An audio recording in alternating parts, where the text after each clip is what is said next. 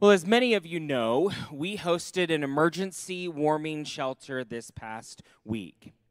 Half of all homeless in the city in shelters were in this building. And on the final night, the count was 206. A week ago last night, there were still seven who froze to death on the streets of Colorado Springs. I want you to watch this video, which aired on Fox News 21.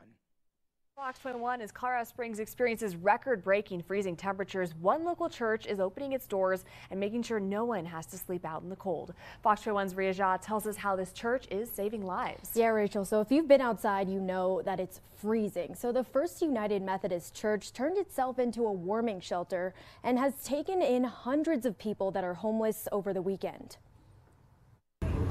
As cold feet step through the doors of the First United Methodist Church in Colorado Springs. First time in? They're greeted with warm smiles and open arms. So glad you got over here. How are you? I'm good. I'm Carrie. Hi, Carrie. What's your name? The shelters were filling up fast and there was a desperate need for some space. And so I just made a call to some of my team and said, hey, what is it going to take for us to open up our church and let people come in and sleep and be warm? Since the church opened its doors as a warming shelter Friday night, Carrie West says she's only gotten a few hours of sleep over the past couple days running the shelter. To think that these people who've now become some of my friends could have died. And so, us being able to do this, it's probably the greatest impact we can have in the community. We literally saved over 100 lives. On Sunday, the National Weather Service reported a record breaking low of negative 8 degrees in Colorado Springs. Within 15 minutes below 8 degrees, you, you begin getting frostbite and stuff like that. And I would hate to be out there in the tent when it was when, when it's nighttime and stuff like that. I don't want to be want to be outside. It's like nerving. It's the church is accepting anyone and everyone at any time of the day or night until they close Tuesday morning when the weather is supposed to warm up. The community stepped up over the weekend with hundreds of pounds of food and other donations. People are doing just as much as they can, and it's really like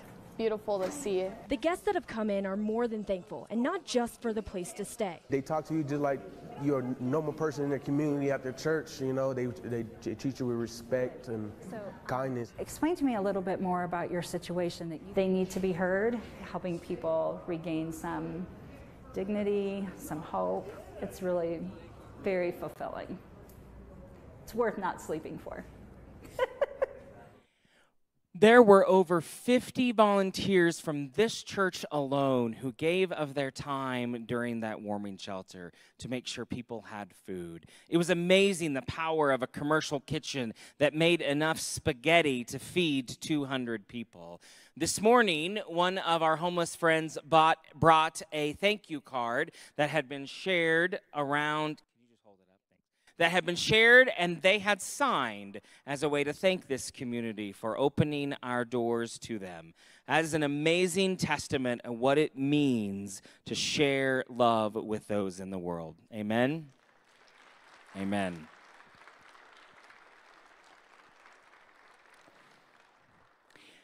I will say, we learned a lot. We're still learning days later.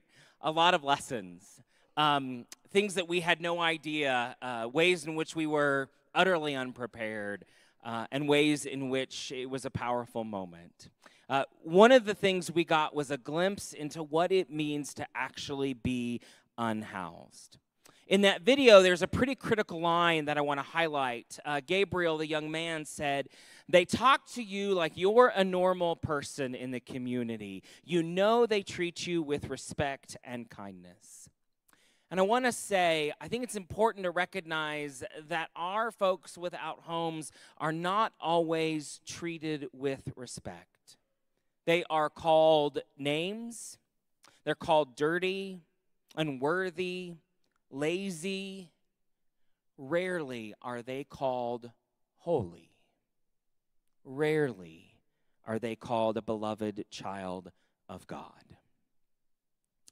For the past several decades, I think the Christian church has gotten stuck in standing up for what we are against and not what we are for. We're against anything that's different, that's out of the normal, or we're clear. We're against things like cuss words. We're against dancing, or we're against gambling. I remember in high school, I had a Bible. It was called the Extreme Team Teen Edition. And the top of it said, No regrets. And inside were all these extra pages about the behaviors that would make you not be holy. Christianity has for too long been focused on upholding some sense of moral superiority, of identifying an enemy to go to war with. And it's not specific to any ideology. The religious right has pointed to the sins all around them, and the progressive left has shamed into alternative behaviors. E- even baptism has become moralized.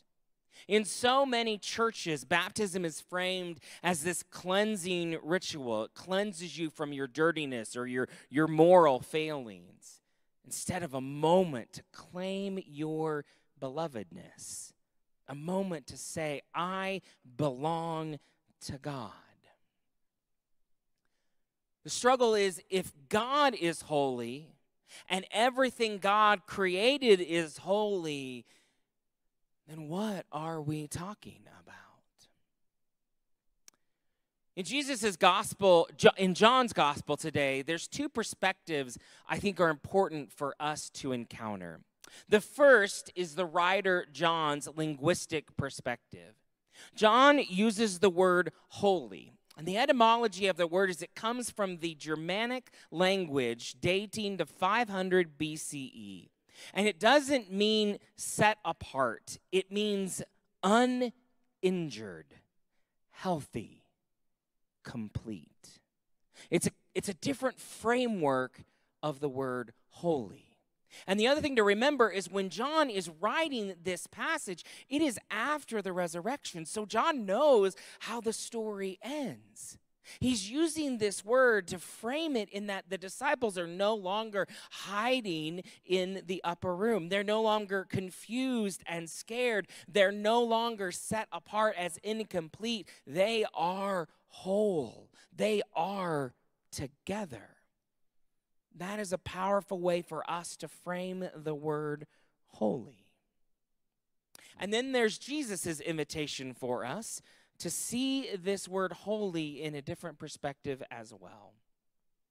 I want you to imagine Jesus is in that Garden of Gethsemane among those olive trees. He's sitting on a slab, some sort of stone slab, and he is praying. And in all the other Gospels of Matthew, Mark, and Luke, Jesus is praying that something else is going to happen here. We know he says, God, take this cup away from me. But in John's gospel, he's praying for the disciples. And not really for Peter and James and John. He is really praying for us. And his prayer is that where the Pharisees see holiness only for certain people, that those who call themselves Jesus followers will know they are never separated from God's love and that any separation would make them feel unholy. It means that when we claim things are unholy, it just isn't true. There is actually love in those we claim unholy. And to see anyone as unholy or claim anyone as unholy actually only separates us from God's love. Martin Luther King Jr. put it in another way. He said, We need to get rid, we never get rid of an enemy by meeting hate with hate. We get rid of an enemy by meeting, by getting rid of our apathy and our hostility, but seeing that love is still present within them.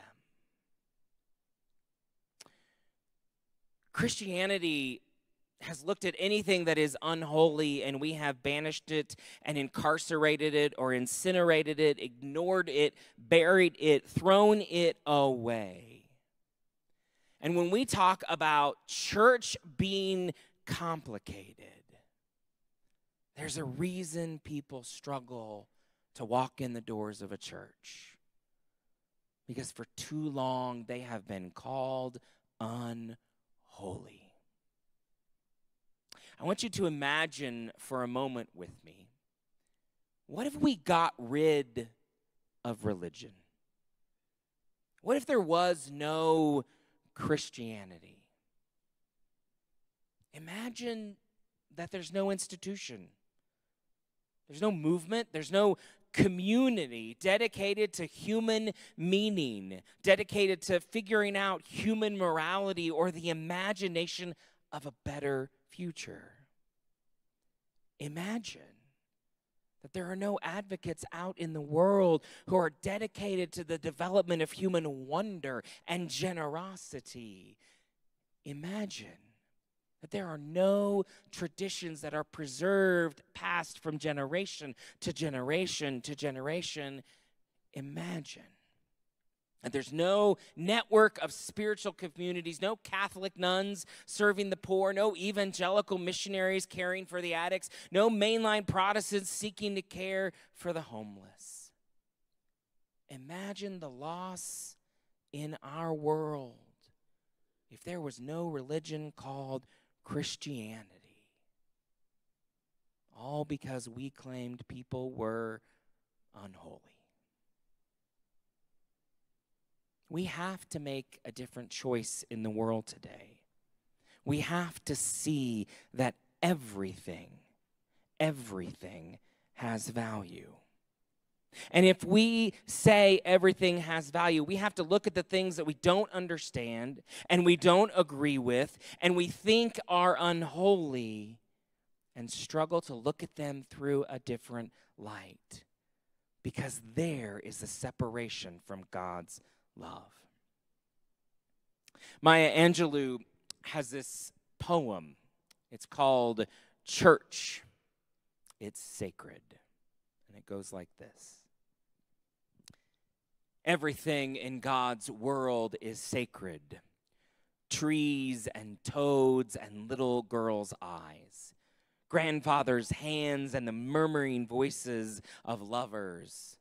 Sacred a poet's dream, almanac compilers, and rocks that look up to the moon sacred. Church is where I go when I want a certain fulfillment. And church is where I don't have to go because it is always with me, holding me up, propelling me forward, sustaining me when I think about church and remember that church and I are one, I am reminded that everything in God's world is sacred. Everything in God's world is consecrated. May we live this truth this day and always. Amen.